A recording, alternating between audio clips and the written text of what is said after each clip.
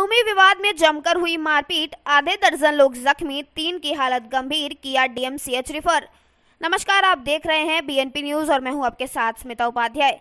मधुबनी ज़िले के मधेपुर प्रखंड के भेजा थाना क्षेत्र के खजरी गाँव में भूमि विवाद को लेकर दो पक्षों के बीच हुए संघर्ष में छह लोग जख्मी हो गए। वहीं तीन लोगों की गंभीर स्थिति को देखते हुए डीएमसीएच रेफर किया गया।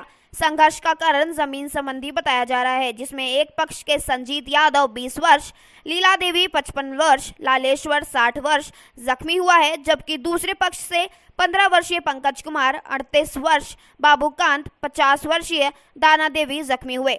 सभी को जख्मी मधेपुर पीएससी इलाज के लिए लाया गया, जहाँ ड्यूटी पर तैनात डॉक्टर हरेंद्र कुमार सिंह ने जख्मी लालेश्वर यादव, लीला देवी तथा संजीत यादव को प्राथमिक उपचार के बाद डीएमसीएच रिफर कर दिया। वहीं भेजा थाना अध्यक्ष अरविंद कुमार ने बताया कि पुलिस आगे की कार्यवाही में लग गई है। बीएनपी न्यूज़ के लिए मधुबनी से राजीव कुमार झा की रिपोर्ट।